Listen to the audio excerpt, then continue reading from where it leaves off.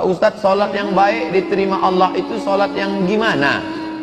Baca buku fikih dasar. Fikih paling rendah. Fikih sunnah Sayyid. Fikih sunnah Said Sabik itu tengah. Di bawah fikih sunnah Said Sabik lagi. Fikih Islam Sulaiman Rashid. Orang Lampung. Dapat gelar al, al ijazah al Azhar belum ada LC lagi zaman dia. Tahun 1935 namanya syahadah alamiah itu orang Indonesia spesialis fikih syafi'i. Fikih dicetak bulan bintang. Rukun syarat wajib sunat. Pelajari baik-baik rukun syarat wajib sunat. Apa yang kita lakukan Pak Ustadz kalau seandainya kita melihat aurat saudara kita yang lagi sholat laki-laki? Tutup. Kalau yang bisa ditutup misalnya dia pakai celana jeans anak-anak muda jangan lagi dipakai celana jeans yang pendek. Ini kan mau sholat baju pendek pakai celana jeans ke bawah. Tutup. Kalau nampak kita kita naik turut naik kan? Apalagi kalau kita kenal. Karena sholat dia batal. Orang yang sholat terbuka auratnya sholatnya batal. Maka dia mesti ulang balik. Diulang balik itu sholat. Hati-hati makanya kalau pakai kain sarung ujung kaki dirapatkan. Waktu sedang sujud Allahu Akbar. Kaki kan menegang gini tutupkan. Karena kalau pakai kain sarung tak pakai kain pakai celana panjang di dalam itu pangkal pahanya kelihatan dari belakang. Kalau pakai sarung itu pakai celana panjang.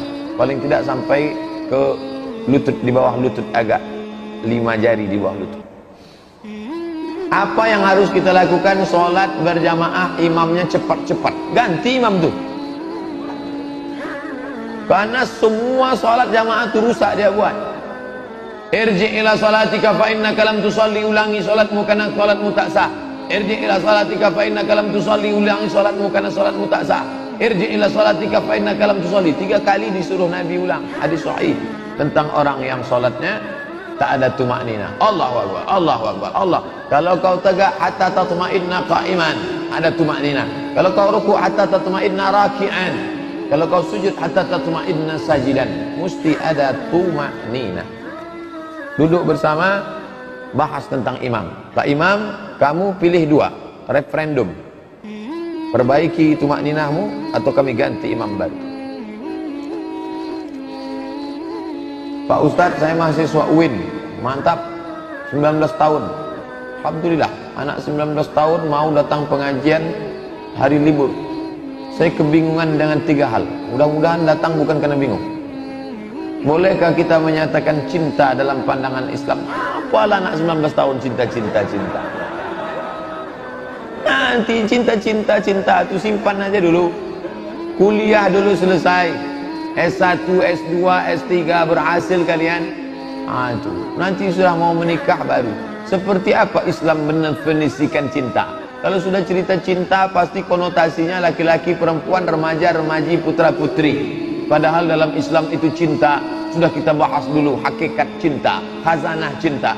Walladzina amanu orang yang beriman asyaddu hubban lillah cintanya lebih kepada Allah Subhanahu wa taala anak muda cinta kepada masjid. Besok nah malam nih start night move on. Malam nih iktikaf. Nanti maghrib datang kemari bawa. Persiapan iktikaf. Persiapan iktikaf tuh maksudnya sajadah. Kalau dia mau pakai alas sajadah. Selimut jaket itu maksud persiapan iktikaf. Bukan kerupuk. Persiapan iktikaf. Nanti malam iktikaf sini menikmati saya karena ke pasir Pengarayan malam ini malam ini saya ke pasir Pengarayan. Andai tidak datang saya mau mendengarkan suara Al-Mukarram Ustadz Has, uh, Muzammil Hasbullah. Saya, saya penasaran mendengar dari Youtube saja. Mau dengar live langsung. Apa boleh buat? Tak bisa jumpa. Ah, yang kosong. Datang malam ini nanti. Maghrib berjamaah pengajian isya berjamaah pengajian etikap motivasi. Ah, nanti malam pula tahajud berjamaah. Sampai pengajian besok pagi. Hadir jadi cinta itu cinta kepada perempuan hanya sebagian unsur sub cinta.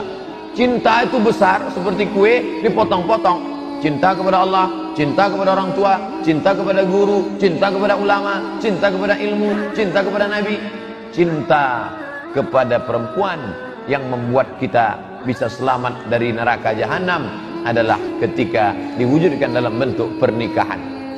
Kedua, saya pernah membaca hadis sabar terjadi pada tabrakan yang pertama. Bolehkah kita membalas setelah itu? Ini kronologisnya Bukan cerita masalah orang kelahi. Bolehkah kita membalas setelah itu? As-sabru fi sadmatil ula. Sabar pada pukulan yang pertama. Jadi Nabi menengok ada perempuan anaknya mati, meninggal. Lalu kata Nabi sabar ya. Kata Nabi sabar ya. Lalu apa kata dia? Alaika anni fa innaka lam tusib musibati. Pergi sana. Ente nyuruh-nyuruh sabar kan karena ente tak kena musibah macam aku. Pergi sana. Setelah Nabi pergi datang orang ngasih tahu. Ente tahu siapa yang ente usir tadi? Tidak Nabi itu Hah? Nabi. Akhirnya besok dia datang ke rumah Nabi. Assalamualaikum Waalaikumsalam. Ya Rasulullah. Ya aku mohon maaf. Semalam aku sudah ngusir engkau ya Rasulullah. Sekarang aku sudah sabar. Muncullah hadis nih itu namanya asbabul wurud. Kronologis. Kata Nabi innama sabru fi sadmatil ula. Sabar itu pada pukulan yang pertama. Ente kalau mau sabar dari kemarin-kemarin makin lama makin sabar. Sekarang pertanyaannya Pak Ustadz bolehkah sabar pada yang pertama? Habis itu dibalas. Bukan sabar namanya. Untung dia bertanya. Coba kalau tak bertanya dinda mahasiswa nih. Bacanya sendiri pahaminya sendiri sabar pada pukulan yang pertama oh kalau gitu dipukul kawan pertama sabar besok tengoklah Dah pahami baik-baik cerita tentang hadis. Itulah gunanya mengaji. Ada pertanyaan, ada dialog. Apa maksud hadis dari Abu Umamah? Aku menjamin satu rumahku di pinggiran surga bagi orang yang mau meninggalkan perdebatan meskipun dia benar dan satu rumah di tengah surga bagi orang yang meninggalkan dusta meskipun dia bergurau satu rumah di atas surga bagi orang yang membaguskan akhlaknya. Surga luas. Di dalam surga itu ada rumah-rumah. Rumah di tepi rumah di tengah rumah di atas. Bahbuha bagian tengah. A'la bagian atas. Rumah di tepi rumah di tengah rumah di atas. Siapa yang punya rumah di surga? Satu. Man bana masjidan. Siapa yang membangun masjid banallah baitan mislahu fil jannah. Dibangunkan Allah satu rumah di surga. Kita tak bisa bangun masjid. Jangankan bangun masjid bangun rumah kita pun tak bisa. Susah miskin. Siapa lagi yang bisa punya rumah di surga? Man shalla isnatai asyarata raka'ah. Siapa yang solat 12 rakaat fil yaumi wal lailah solat qabliyah ba'diyah qabliyah ba'diyah qabliyah ba'diyah 12 rakaat bunya lahu bihinna baitun fil jannah. Dibangunkan untuknya satu rumah dalam surga. Dua rakaat sebelum subuh empat rakaat sebelum zuhur dua rakaat setelah maghrib dua rakaat setelah isya dua rakaat setelah zuhur. Dua rakaat sebelum subuh empat rakaat sebelum zuhur dua rakaat setelah zuhur dua rakaat setelah maghrib dua rakaat setelah isya. Dibangunkan satu rumah dalam surga. Ada lagi tiga. Siapa dia? Mantarakal siapa yang meninggalkan mirak mirak jidal. Siapa yang meninggalkan jidal berdebat? Tak mau dia berdebat maka dibangunkan Allah dia satu surga satu rumah di dalam surga yang satu lagi, man tarakal kadhib. Siapa yang meninggalkan dusta walaupun bercanda, bergurau demi untuk supaya orang ketawa, dibuatnya cerita-cerita dusta bohong. Ditinggalkannya itu, dibangunkan Allah satu rumah di tengah surga. Yang ketiga, siapa yang itu? Kata Nabi sallallahu alaihi wasallam, man ahsana khuluqahu. Siapa yang memperbaiki adabnya, akhlaknya, yang meninggalkan debat, rumah di pinggir surga. Yang meninggalkan dusta rumah di tengah surga. Yang memperbaiki akhlaknya rumah di atas tinggi surga. Ah kalau gitu saya biarlah tak punya rumah Pak Ustaz asal masuk surga. Bukan begitu memahami hadis ini. Kita selalu disuruh wa fi dzalika mutanafisun. Hendaklah kalian bersaing persaingan dalam merebut kalau gitu kita tak boleh debat Pak Ustaz. Debat antara benar dan paling benar. Tinggalkan debat. Tapi untuk orang-orang yang sombong, yang angkuh mesti kita debat. Karena Quran menyuruh debat. Wajadil hum. Debat mereka. Billatihi ahsan. Dengan cara yang baik. Kalau begitu Zakir Naik tak dapat rumah di surga? Dapat. Kenapa? Karena dia menegakkan hujah untuk mendebat orang-orang batil. Orang batil mesti didebat supaya dia tahu bahwa dia batil. Aku khawatir kalau orang benar itu diam sehingga orang yang salah itu tak tahu bahwa dia salah. Begitu kata Sayyidina Ali radhiyallahu anhu. Apa itu khawarij? Khawarij artinya keluar. Diambil dari kata kharaja, keluar.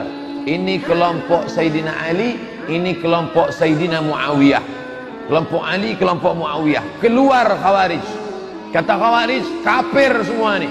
Ali kafir, Muawiyah kafir, Amr bin As kafir. Tiga-tiga ini mesti dibunuh. Maka diutuslah orang untuk membunuh tiga sahabat ini. Salah satunya yang berhasil membunuh namanya Abdurrahman ibnu Muljam ditikamnya Sayyidina Ali waktu sholat subuh meninggal Sayyidina Ali Khawarij orang yang keluar dari imam maka yang keluar dari imam itu adalah Khawarij Qadariyah apa Ustaz? Qadariyah adalah orang yang mengingkari takdir. Kata dia tak ada takdir. Rukun iman lima saja. Antuk minabillah wa malaikatihi wa kutubihi wa rusulihi wal yaumil akhir. Takdir tak ada. Maka disebut dia dengan qadar karena dia memusuhi takdir. Qadariyah. Mu'tazilah apa Ustaz? Mu'tazilah adalah Wasil bin Atta. Dia murid Imam Hasan Al-Basri. Nabi punya murid namanya Anas bin Malik. Anas bin Malik punya murid namanya Al Hasan Al Basri. Al Hasan Al Basri punya murid namanya Wasil bin Atok. Suatu ketika Wasil bin Atok bertanya tentang pelaku dosa besar. Lalu dijawab oleh Imam Hasan Basri. Rupanya tak setuju Wasil bin Atok dengan gurunya itu. Akhirnya Wasil memisahkan diri. Orang yang memisahkan diri bahasa Arabnya Mu'tazil. Mu'tazilah. Orang yang memisahkan diri dari Wasil dari Imam Al-Hasan Al-Basri. Lalu apa kata Imam Hasan Basri? Qad i'tazala wasil anna. Si wasil sudah memisahkan diri dari kita. Maka dia disebut dengan Mu'tazilah. Ada beberapa perbedaan Mu'tazilah dengan Ahlu Sunnah. Di antaranya mereka mengatakan tidak ada sifat bagi Allah. Yang ada hanya zat saja. Kemudian pula mereka ini sama dengan Qadariyah dalam masalah tak menerima takdir dan beberapa perbedaan lainnya. Sedangkan kita adalah Ahlus Sunnah wal Jamaah. Khawarij, Qadariyah, Mu'tazilah sudah keluar dari Ahlus Sunnah wal Jamaah. Kelompok yang suka membubarkan pengajian masuk kelompok mana Pak Ustaz? Kalau bertanya sama saya jangan pakai sindir-sindir, tanya langsung. Mana yang dimaksud? Apakah yang ditanyanya salapi apakah yang ditanyanya uh, Banser? Banser itu adalah sub daripada NU NU itu di dalamnya ada namanya Patayat. Untuk yang gadis-gadis, pelajar-pelajar. Untuk yang ibu-ibunya muslimat, Patayat NU muslimat NU ada namanya LBM, Lembaga Bahsul Masail. Khusus untuk mengkaji hukum-hukum fikih. Ada namanya Banser Pasir Ansor. Itu dulu baik. Cuman setelah disusupi oleh liberal makanya anak-anak NU yang selalu saya nanya ke saya Ustadz kami ini NU ente NU ya ikuti fatwa tiga ulama NU Ustadz Kiai Haji Idrus Ramli Buya Yahya Kiai Haji uh, Gus Solah. Gus Solah masuk. Yang dulu Kiai Hasim Hasim Muzadi tapi yang untuk yang pengajian yang banyak di internet yang saya maksud adalah Buya Yahya, kemudian uh, Kiai Haji Idrus Ramli, satu lagi lupa saya namanya. Dari pondok pesantren khusus yang mendebat. Mereka tidak setuju dengan Syiah, tidak setuju dengan uh, Mu'tazilah, tidak setuju dengan yang keluar dari Ahlu Sunnah wal Jamaah. Itu yang meneruskan Kiai Haji Hashim Ash'ari, Hadratus Syekh Hashim Ash'ari.